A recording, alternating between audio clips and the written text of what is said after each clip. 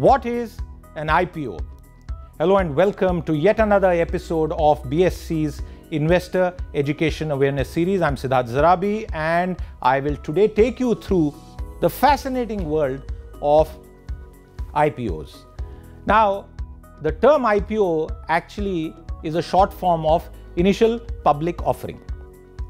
This means that it is the first sale of stocks to the public by any company.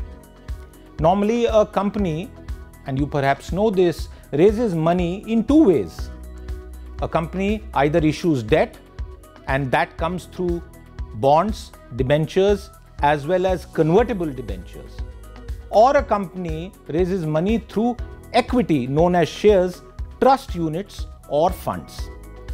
Now, if the company has never issued equity to the general public before, that issue is called an initial public offering. When a company goes public, it raises cash and a lot of cash actually. Issuing an IPO opens many doors for that company. Uh, for example, going public can help the company get better rates when they issue debt. Secondly, if there is a good demand from the public, the company can always issue more stock. This means in times of mergers and acquisitions, that stock can be used as a part of the deal. Thirdly, issuing shares means improved liquidity. This can help the company to implement some features such as ESOPs, employee stock options, that can bring talented people into the company and help retain leadership executives. Getting listed on the stock exchange carries with it a good deal of prestige as well as some amount of responsibility. Today, even small setups are going public and issuing IPOs to expand their business and get that growth capital. But what you need to understand before you invest in an IPO is that an IPO is just selling a part of that company's business. So, if a small company that has never made a profit before and has been founded with venture capital funding, for example, you would actually like to dig a little deeper into that entire company and its financials.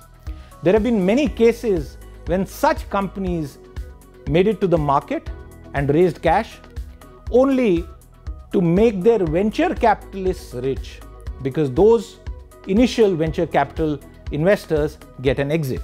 So, this exit strategy means that the company has no desire to be there for the long term and create durable, sustainable long term value for shareholders, which is why IPOs must be viewed with a good deal of caution before investing, and this applies more to individual investors specifically. With this, we end today's episode, and I hope that the topic of an IPO is now much more clearer to you and your understanding of what to do in an IPO has become that much more clearer. And like always, as I leave you today, I leave you with more expert advice. Take a look. So the name IPO is basically initial public offering. As I was making a point earlier, when the company wants to raise money, they come to investors. An investor in turn subscribe to the issue which is called as a public issue.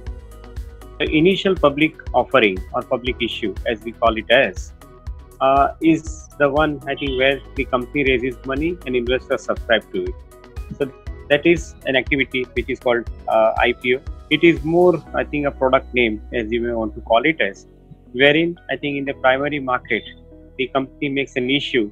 It is called as a public issue or an IPO in the modern language.